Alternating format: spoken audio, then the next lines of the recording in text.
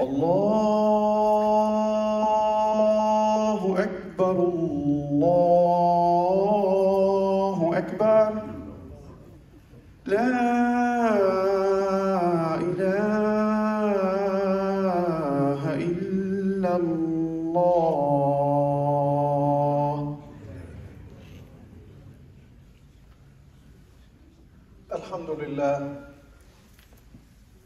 الحمد لله الذي أعطى كل شيء خلقه على الكمال والتمام ورفع السماء بلا عمد ترونها والأرض وضعها للأنام. فيها جنات معروشات وغير معروشات والنخل ذات الأكمام. وأشهد أن لا إله إلا الله العليم العلام الذي كان من الأزل ولم تكن شهور ولا أيام. خلق الخلق ليعبدوه لا لرزق ولا لطعام. حليم لا يعجل كريم لا يبخل مجيب على الدوام. وأشهد أن سيدنا ونبينا محمدا عبد الله ورسوله إلى الأنام المبشر بالوسيلة والفضيلة ومحمود المقام المبارك أينما كان والمضلل بالغمام. اللهم صل وسلم وبارك وأنعم على سيدنا ومولانا محمد. وعلى آله وأصحابه الذين آمنوا به وعزروه ونصروه واتبعوا النور الذي أنزل معه أولئك هم المفلحون وارض اللهم عن الأربعة الخلفاء سيدنا أبي بكر وعمر وعثمان وعلي وارضى عنا معهم يا رب العالمين آمين ثم أما بعد my dear brothers and sisters in Islam it is my honor to welcome to welcome you all to the house of Allah subhanahu wa ta'ala and to the Faridah of Jumu'ah our talk today is about volunteerism as the collective spirit of Islam.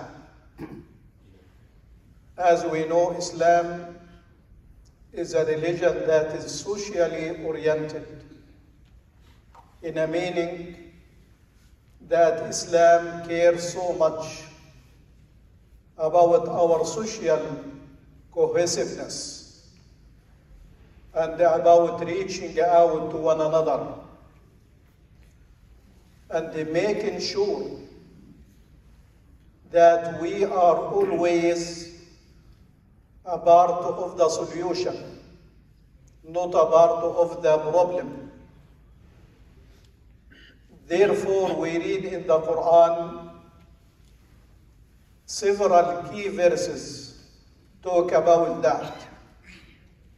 One of them is what Allah subhanahu wa ta'ala says in Surah Al-Ma'idah, وَتَعَاوَنُوا عَلَى الْبِرِّ وَالتَّقْوَى وَلَا تَعَاوَنُوا عَلَى الْإِثْمِ وَالْعُدْوَانِ Which means help one another in righteousness and piety and do not cooperate or become a part of aggression and sin ولا تعاونوا على الإثم والعدوان When we look at the prophets of Allah subhanahu wa ta'ala, Allah subhanahu wa ta'ala made them leaders for the humanity. Allah subhanahu wa ta'ala says in Surah Al-Anbiya, وَجَعَلْنَاهُمْ أَئِمَّةً يَهْدُونَ بِأَمْرِنَا We made them leaders and imams to guide mankind with Allah's permission. وأوحينا إليهم and that is the key word here. We inspire or reveal to them the religion, the code of life that is not limited to salah or siyam or hajj or fasting or reading the Quran. It includes all of that, and above all of that is فعل الخيرات. فعل الخيرات means doing good. And doing good not limited to the individual himself nor his community that share the same faith with him but it expands to include every creature that Allah subhanahu wa ta'ala created. That is why, brothers and sisters, the Prophet sallallahu alayhi wa sallam indicated when he was telling the Sahaba to be kind to the animals. اتقوا الله في البهائم العجماوات be mindful of Allah subhanahu wa ta'ala in those animals that they cannot express themselves. The Sahaba said, Ya Rasulullah, أو إن لنا في البهائم لأجرا Do we really have to be kind to those animals? And does Allah reward us for whatever goodness we do to them قال صلى الله عليه وسلم وفي كل كبد رطبة أجرا Every creature that is like a dog, a cat, anything, whatever goodness you do to that, Allah will consider that as an act of worship. How beautiful Islam is. So here we are, brothers and sisters, looking at our masjid, our community, our Muslim ummah. The Prophet ﷺ was digging and building the masjid. And they got all over dust all over his body and his clothes. Even doing more than the Sahaba. And the Sahaba used to tell him, Ya Rasulullah, you sit down. We'll do the job. But the Prophet sallallahu alayhi wasallam set the highest example in self-motivated goodness that is not an obligatory عمل تطوعي volunteerism and he sallallahu alayhi wasallam said لا أحب أن أتميز على أصحابي I do not like to be different to sit doing nothing and you people are working so hard and he used to encourage them by singing for them اللهم لا عيش إلا عيش الآخرة فارحم الأنصار والمهاجرة Oh Allah, the best life is the life to come. Have mercy on Al-Ansar and the Al-Muhajirin. Then the Sahaba become so moved and they respond to that by saying لئن قعدنا والرسول يعمل لذاك منا العمل المضلل If we're gonna sit and let Rasulullah work, how bad that will be. Not only that, brothers and sisters. When the Prophet ﷺ was on a journey, time to eat, some volunteer to slaughter the sheep. Some volunteer to set a fire. Some volunteer to do this and that. and the Prophet wasallam assigned himself to the hardest job. And he said, وَأَنَا عَلَيَّ جَمْعُ الْخَطَبِ I, Muhammad sallallahu alayhi wasallam, am gonna walk around and collect the straw and the wood for fire. Who is that? Muhammad sallallahu alayhi wasallam. If we look at our institution, and the reason that Muslim Ummah is so behind, it is because we work only when we are called. Sadly, to know that non Muslims are ahead of us in volunteerism. Somebody retire, back home they make him sit on a chair or on a mat until he suffer stiffness of his knees and his arm and his backbone. But here they go and volunteer, work for the church, for hospitals, for habitat, you name it. While that is the essence of our religion. If you look at a mosque like ours, 10 years ago, it was not here. It was something like impossible. But Alhamdulillah, by the grace of Allah subhanahu wa ta'ala and those dedicated to make a difference, like yourself, become ISNO, the Islamic Society of Northwest Ohio, where hundreds and many people come to visit and to enjoy and to worship. So that is why when you do the impossible, when you think about doing the possible job, Allah will make you do the impossible. Yes, it requires money, but also require your effort, your time, your dedication, your skills, your expertise, your presence. And tomorrow we have a community day, a day that we show what we what Muslims are about, faith-wise, cultural-wise, eh, eh, ethnicity-wise, and the people come, Muslim and the non-Muslims, to view us. Are we really terrorists? Are we really backward people? So we show them that we can make a difference, not only in our life as community, but in the life of the United States of America.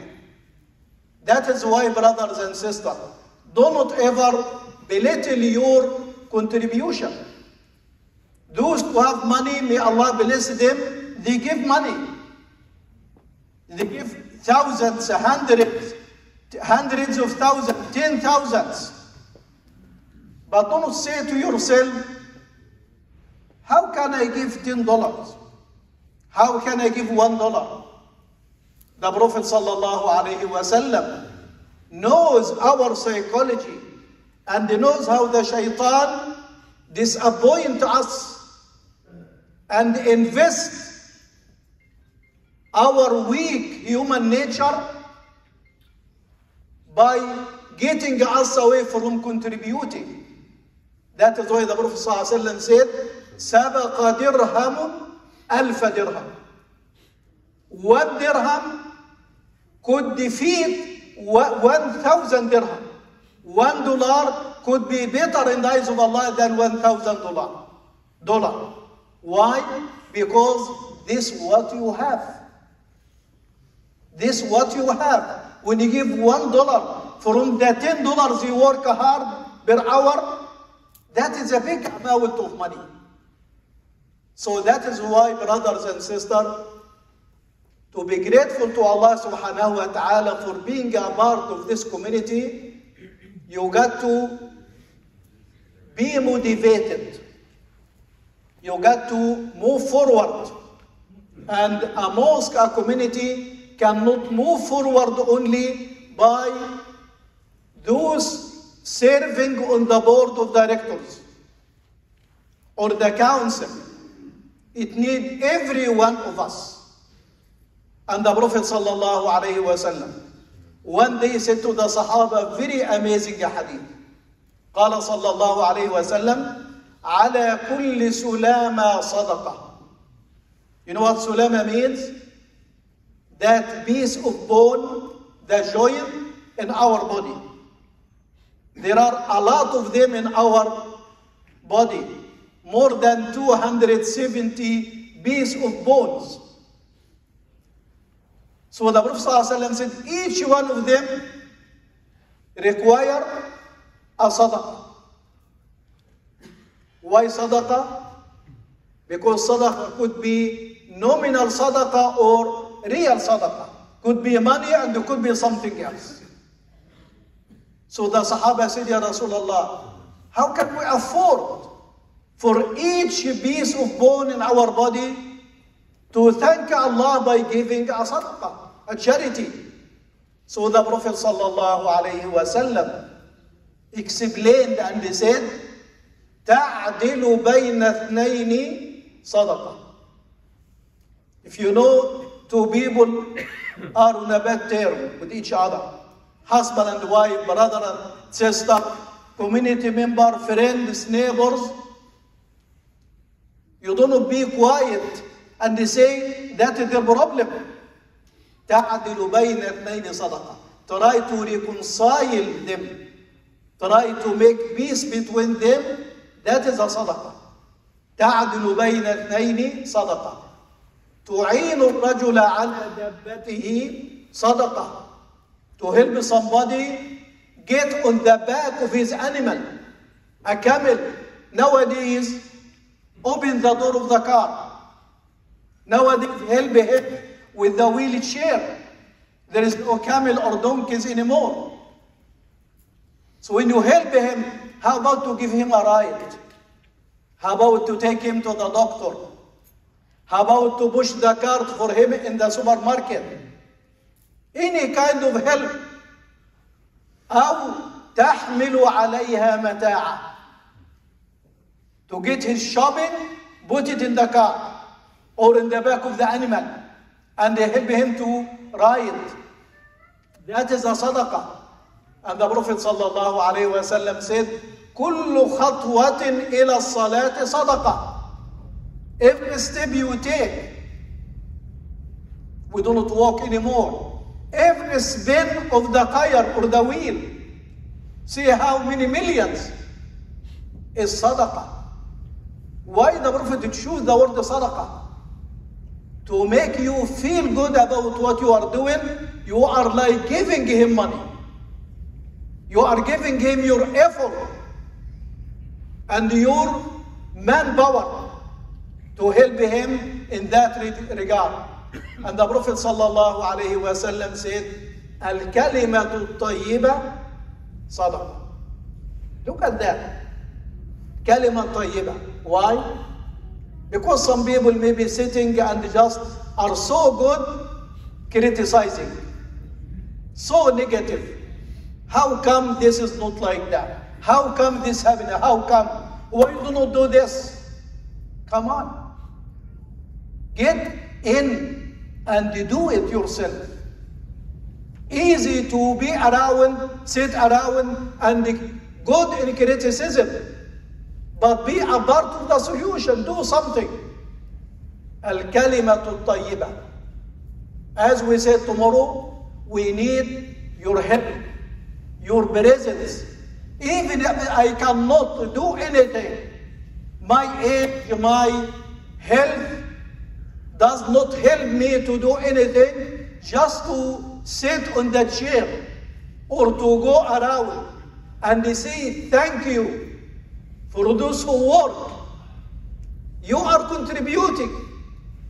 Because the Prophet sallallahu alayhi wa sallam said, لم يشكرني من لم يشكر الناس. If you don't give thanks to the people, the brothers and sisters who are working for the last two weeks, and today from early morning cooking to have sh- their share in contribution. You got to tell them, thank you. May Allah reward you greatly for that. When you see that, you are giving the thanks to Allah subhanahu wa ta'ala. الكلمة الطيبة صدقة. Lastly, the Prophet sallallahu alayhi wa sallam said, تميط الأذى عن الطريق صدقة.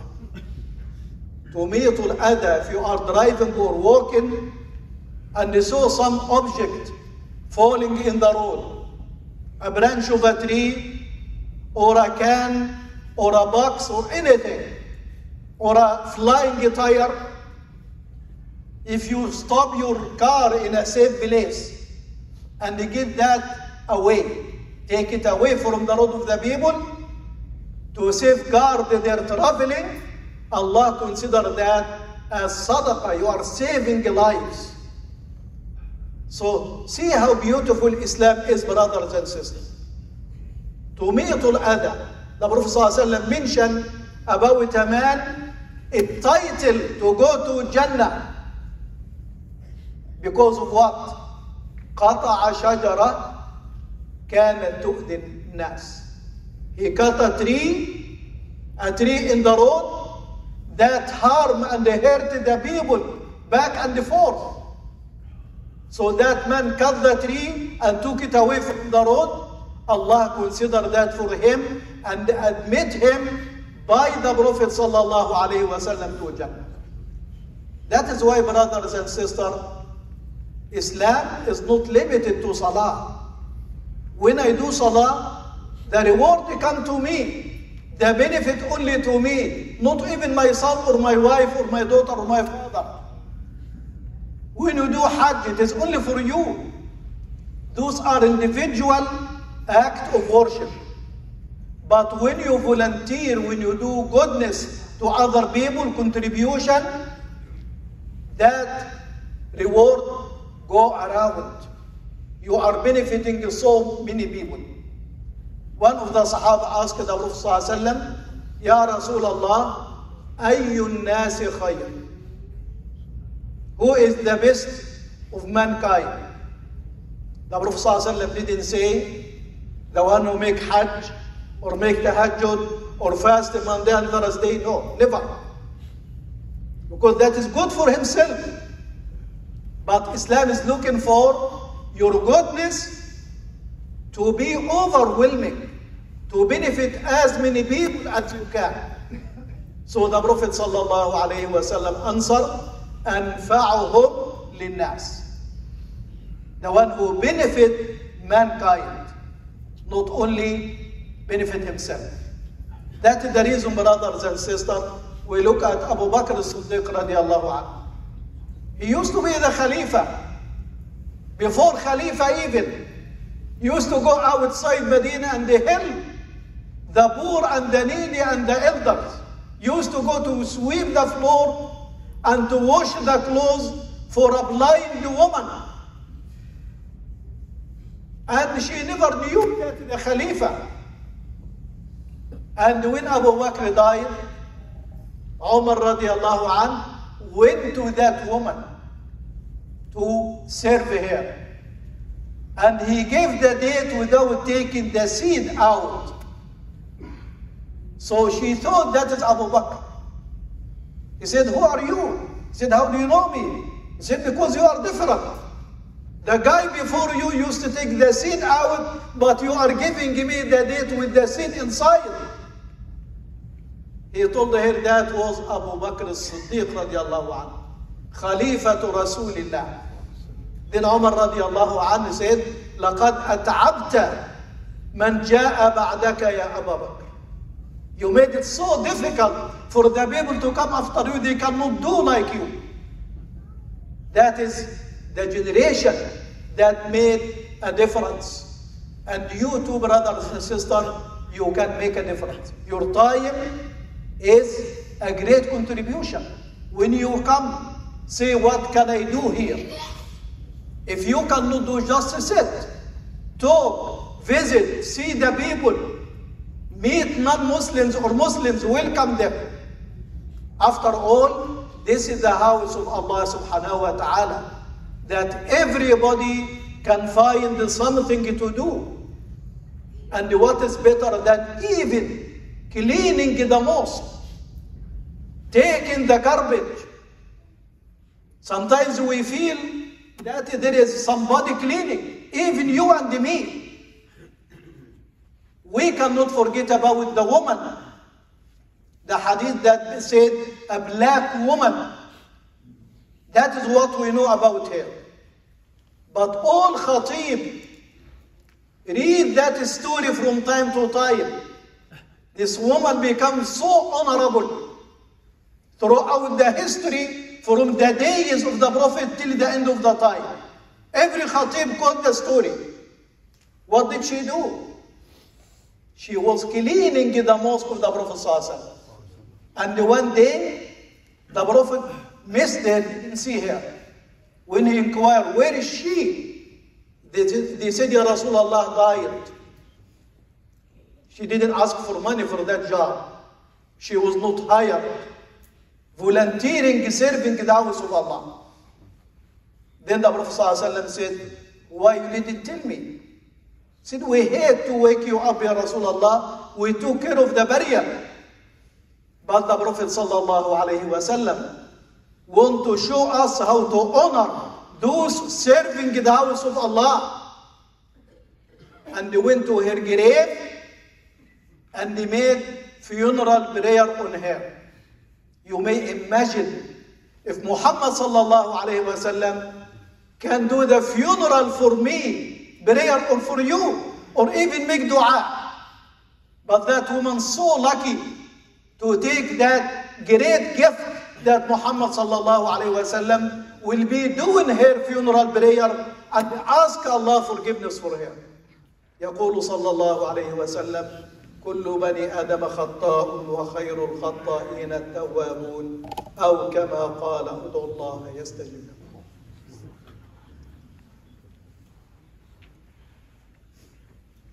الحمد لله نحمده ونستعينه ونتوكل عليه ونستزيده ونعوذ بالله من شرور أنفسنا ومن سيئات أعمالنا. وأشهد أن لا إله إلا الله السميع البصير وأشهد أن سيدنا محمدا البشير النذير. اللهم صل وسلم وبارك عليه وعلى آله وأصحابه أجمعين. My dear brothers and sisters, we have very beautiful religion. Showing the highest example in Muhammad sallallahu alayhi wa sallam. How humble, how easy, how simple. So your service to the collective effort of the community indicate how good you are, indicate how beautiful your religion is. I think we, the Muslims, who have the best religion, but we need to elevate ourselves to be at that level of Islam, in which Allah subhanahu wa ta'ala says, وَفْعَلُوا الْخَيْرِ افعل الخير means do good deeds. لَعَلَّكُمْ تُفْلِحُونَ That you may succeed. That explains to us why Muslim Ummah are not move, moving forward. Because that collective spirit of Islam is not there. When the Prophet ﷺ went to Medina, he didn't worry about converting people to Islam. No. He didn't worry about salah or this or that. No.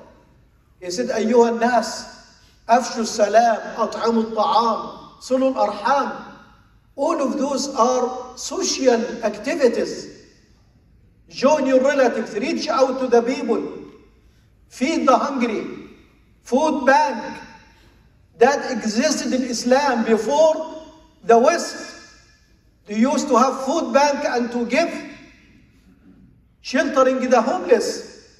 Even they used to have volunteer to go to those in the hospital in the Abbasi time to sing and to make them laugh and to joke for them to elevate their psychology and not to think about sickness, to think that they are living.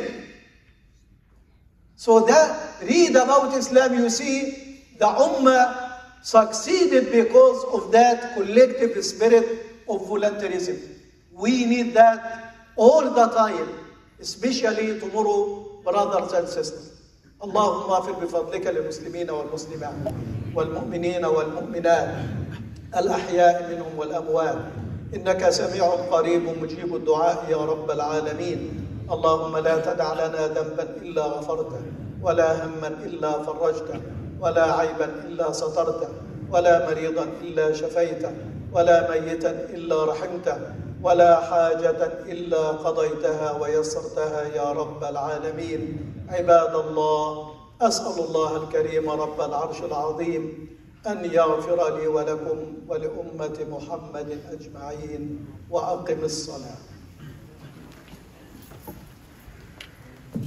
الله أكبر الله أكبر.